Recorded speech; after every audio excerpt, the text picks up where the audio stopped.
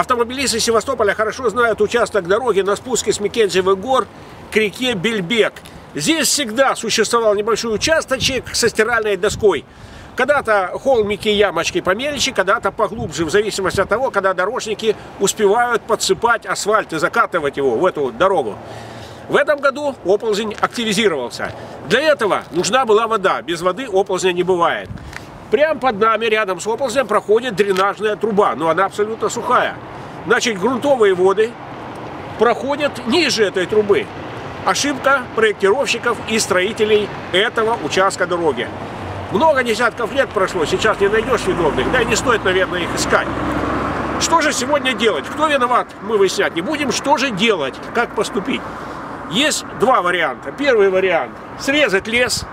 Два-три лесника с бензопилами управятся с этой работой за пару дней. Дальше зачистить склон и подгрузить его негабаритными камнями с Балаклавского рудоуправления, с отвалов. И после этого выровнять дорогу. Все может занять буквально несколько недель. Есть другой способ, более надежный, но долговременный. Он потребует затрат не только материальных, но и временных. Буро-набивные сваи, железобетонные ростверки. Опыт таких работ есть на Сухой речке на 18 километре, на Ласпинском перевале и дальше над Форосом. Конечно, работы очень дорогостоящие и объемные, но тогда дорога будет стоять уже века. И все же, прежде чем начинать работать, нужно определиться, а что же там происходит под землей. Для этого в течение двух дней нужно пробурить буровыми станками порядка 20 скважин и по результатам осмотра кернов сделать заключение. А после заключения уже принимать решение о том, каким способом реставрировать дорогу.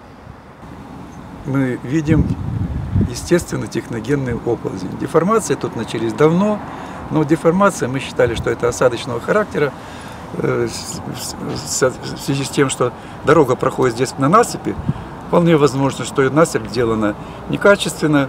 То есть э, вполне возможно, что начались просадки из-за того, что некачественно сделана дорога. То есть мы наблюдали эти трещины давно, еще в 99 году, отметили как опасный участок. Мы не, не стали давать номер оползня, сейчас придется ему давать номер, конечно. Вот, то есть он сейчас пока у нас безномерной. Это оползень, естественно, техногенный. То есть произошел он на естественном склоне, но вследствие того, что человек тут вмешался в процесс, ну, насыпали насыпь приличной мощности, и плюс э, где-то не, при, не предусмотрели э, отвод, дренаж воды.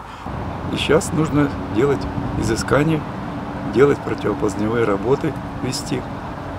Вариантов несколько, естественно. Основное ну, как правило, на дорогах это и на, на южном берегу делалось, и сейчас продолжает делаться, потому что там дорога тоже строилась в свое время быстро, чтобы побыстрее сдать, и потом начались деформации, начались оползни. То есть это буроно-бивные сваи. То есть делается ряд свай, и потом на них бетонный, железобетонный ростверк, и поверху пускается, идет дорога.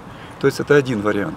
Это мероприятие довольно дорогое, бурнобивные сваи диаметром там 800-900 миллиметров бурится на глубину, чтобы они стояли там, тут надо будет, наверное, 20-30 метров, не знаю, это изыскания должны показать.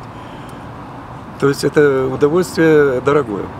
Но, на мой взгляд, тут можно еще рассматривать вариант пригрузки языка оползня, тем более, что тут есть где его пригружать. Вот по низовой обочине внизу, там балочка, э, то есть в принципе, можно пригрузить опазни достаточным количеством габаритов. Э, ну, с нашего балаклавского рудоправления габариты, которые сейчас не кондиционные. Привести только другой вопрос, что надо посчитать сколько, какой объем, какой масса должна быть. Но это надо нам еще делать заключение.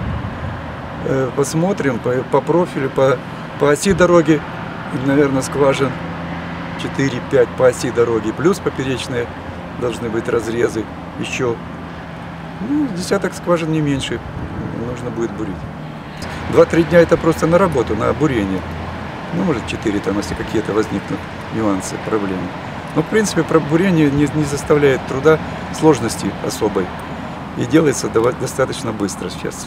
Э, на территории Севастополя есть организации, которые в свое время, когда были оползни на Сухарной балке, на 17 километре на сухой речке, когда дорога на Ялту была перекрыта, э, в Келенбалке два оползня, там работали наши инженеры-геологи севастопольские, это Сигинтис и Геоком Интис, две, э, два института, которые имеют опыт работы на ползнях на территории Севастополя. Они бы могли, конечно, сделать, но почему-то их не, не приглашают.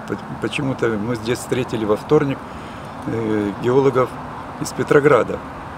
Они, я не, не спорю, они, возможно, хорошие специалисты, но зачем было приглашать геологов откуда-то, когда есть свои опытные специалисты, с которых можно спросить потом за работу, если она будет сделана некачественно. То есть вопрос для меня, честно говоря, а пока вроде бы как питерские инженеры, геологи. Даже без марок маяков видно, что процесс не остановился, движение оползня продолжается. Сколько оно будет продолжаться, я не могу сказать, но факт тот, что движение идет, и возможно, что деформации будут еще более значительные.